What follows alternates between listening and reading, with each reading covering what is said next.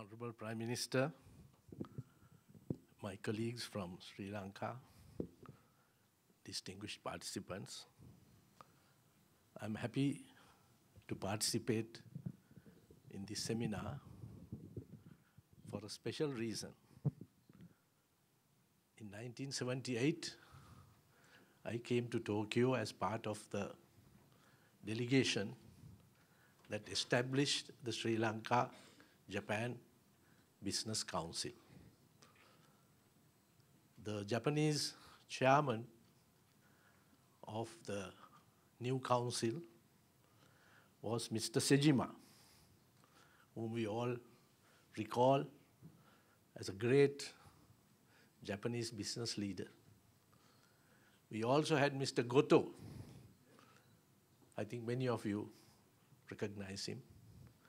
They were outstanding Japanese businessmen. And today, I want to address you from the perspective of a Japanese investor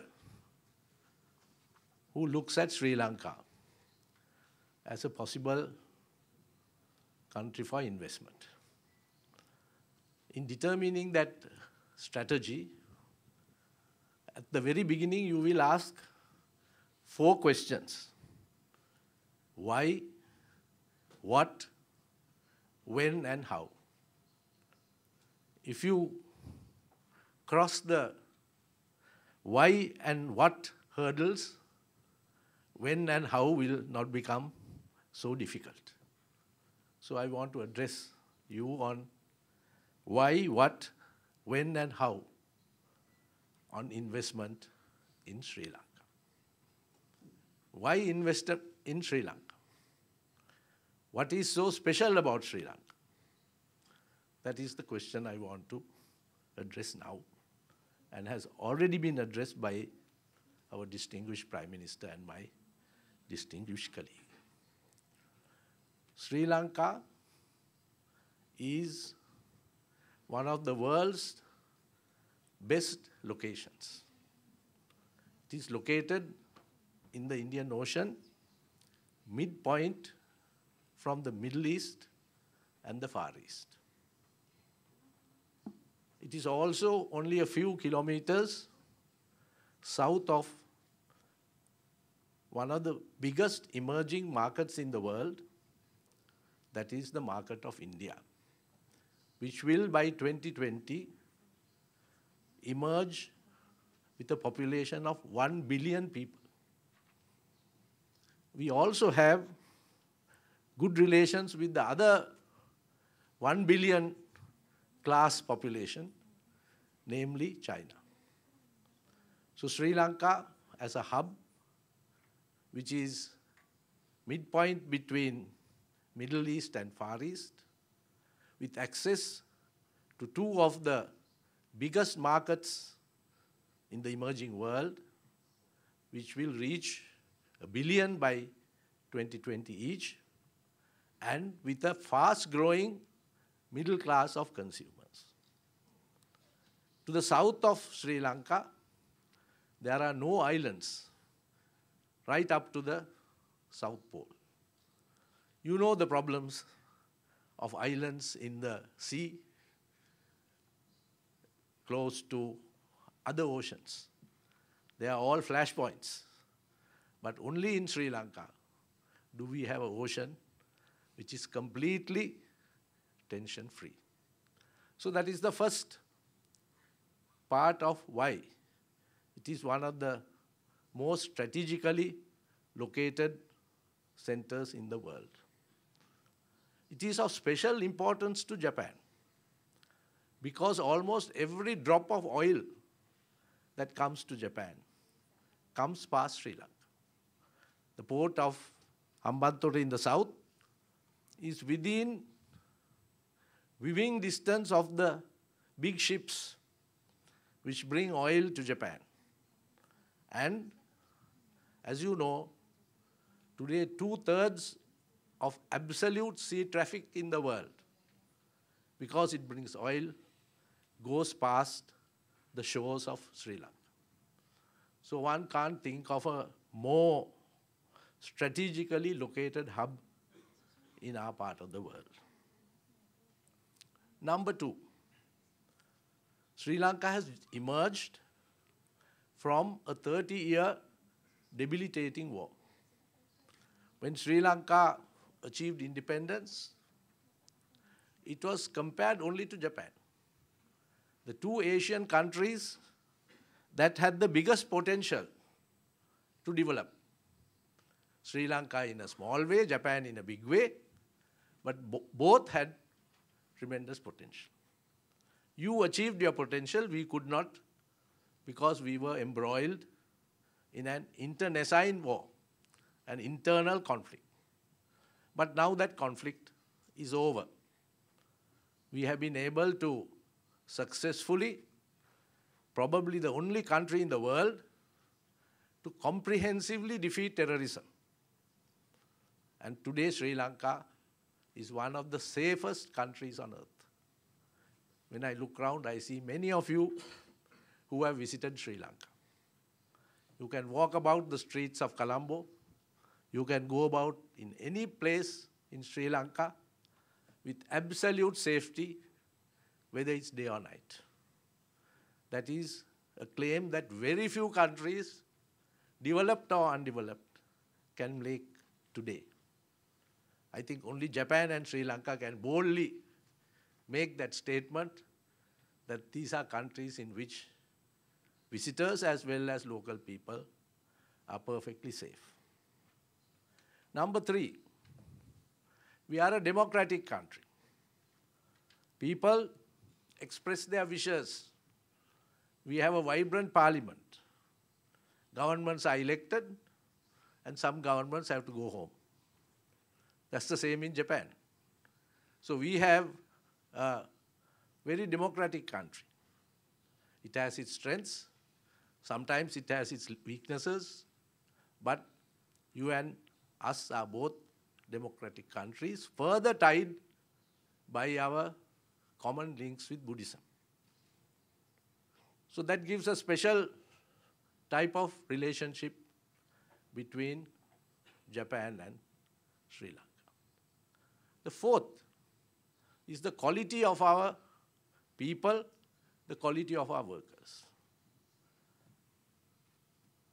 I read a report prepared by JICA some years ago about the quality of workers where they had done a study of workers in Japan, workers in Indonesia, workers in Thailand, and workers in Sri Lanka particularly in our free trade zone.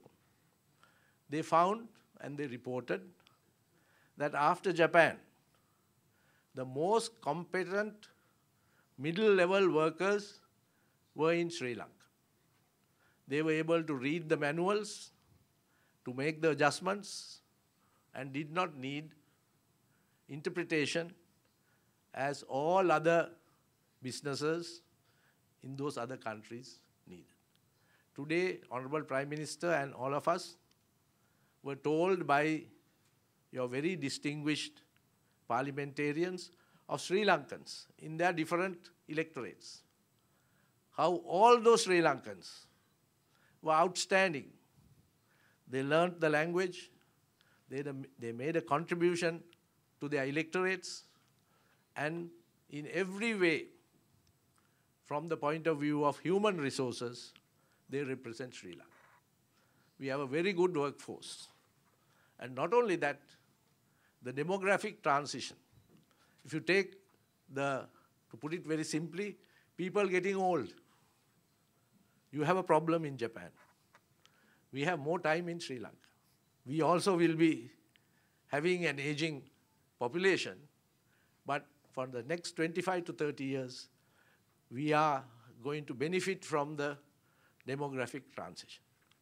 So from those points of view, Sri Lanka is a very attractive destination for investment. Sometimes when the destination is attractive, still if the decision making in the countries that are going to invest are not very much in favor of foreign investment, still we can't make that marriage. That marriage does not take place. But we know that just now in Japan, particularly on the advice of our dear friend Mr. Kuroda, whom we all very know, well know when he was the president of Asian Development Bank, there is expansion in the Japanese economy. You have to invest in other countries. You have to go beyond your own borders. And when these policies come together, Sri Lanka becomes a good destination for investment. Then look at the what factor. What are the areas where you can invest? I must say with gratitude that Japan was the first country to make major investments in infrastructure development in Sri Lanka. For example, our telecommunication system was developed very largely as a joint venture between NTT of Japan, which is one of the biggest telecommunication agencies in the whole wide world, and our telecom authority.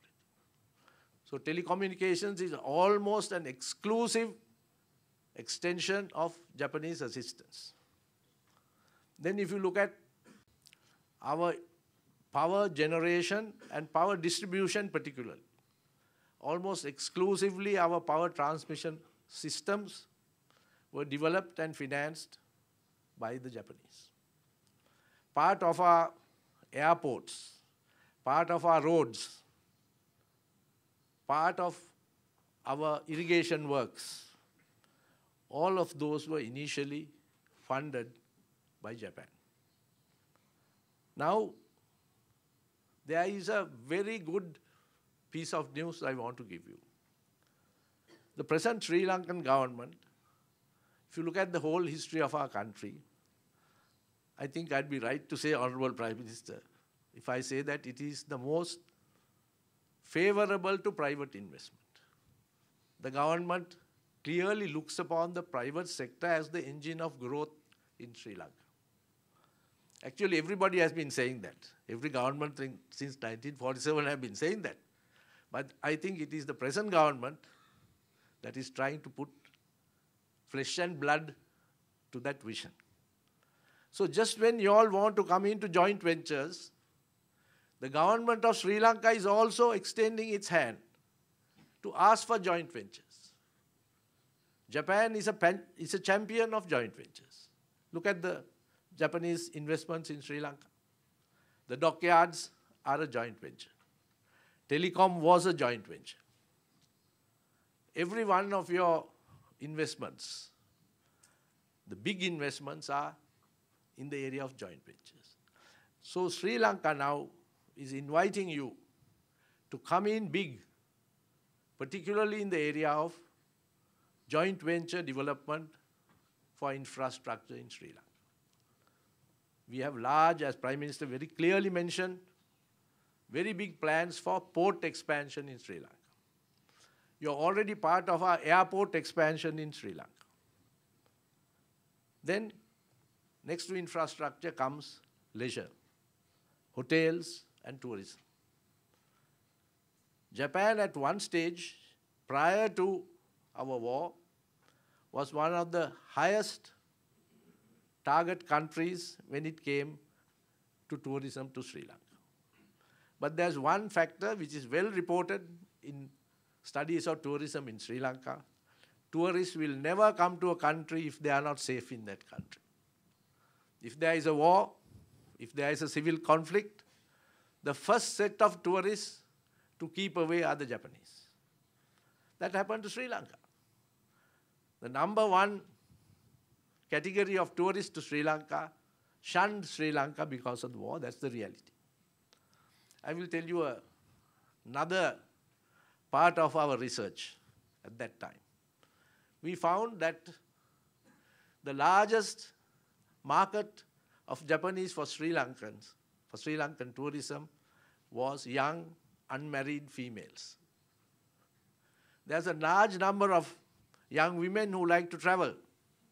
Sri Lanka was a favorite destination for them. There was religion, there was GEMS, and that is a market that will, if it is tapped, will give us a large number of Japanese tourists. There's no reason now why we cannot bring back that good relationship we had with Japan when it came to tourism.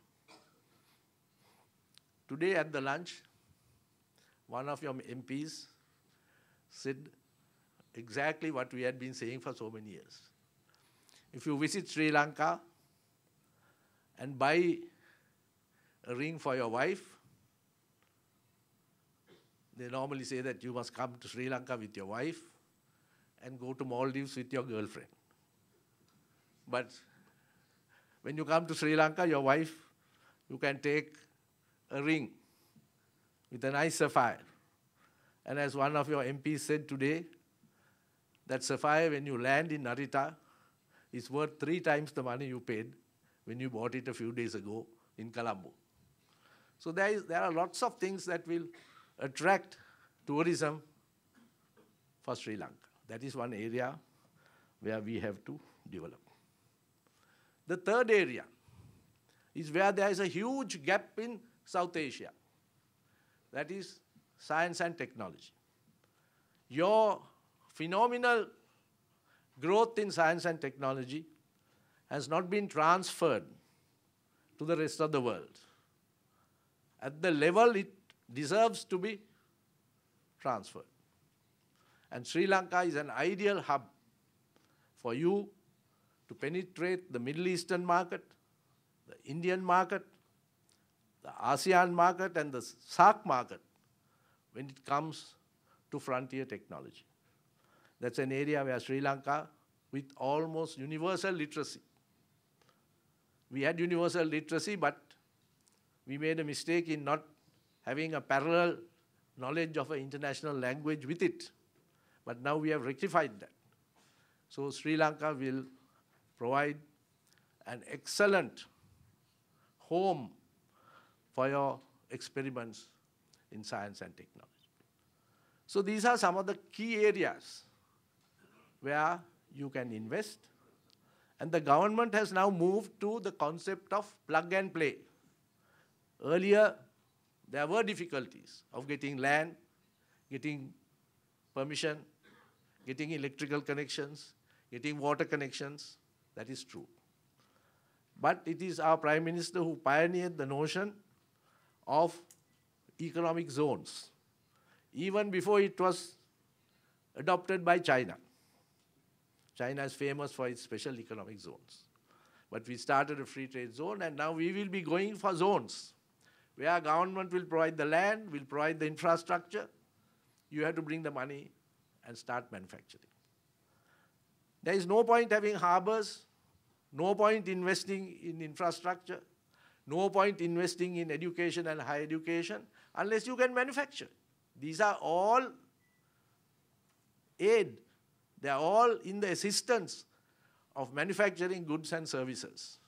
So we have now got the formula right we need your assistance to put it all together and make Sri Lanka a special type of manufacturing center where the harbors will be working, the roads will be working, the electrical system is working, the water supply is working, and you yourself have made a distinct contribution, I must say. Particularly when I was Minister of Finance, I was able to get the water, the large scheme for water for the Greater Kandy scheme area.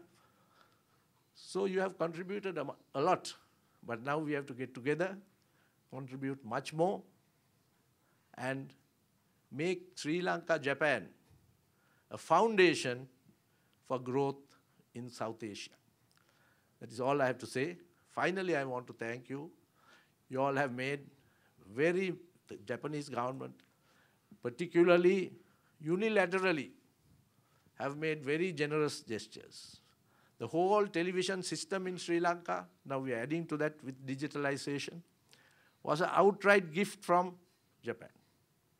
The hospital, in the name of former President Jaya Jayawardena, was an outright gift from Japan.